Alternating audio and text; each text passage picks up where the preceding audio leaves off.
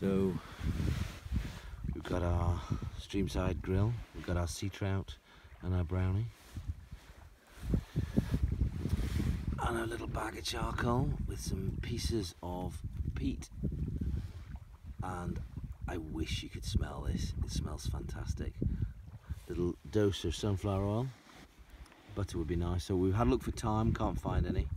So we're going to get these char grilled and then we're going to have a bit of Mediterranean couscous with them. And Mark's just getting organised with that over there. and meanwhile, we've got a bit of a sunset. And the waves are lapping. No, not a midge in sight. Beautiful.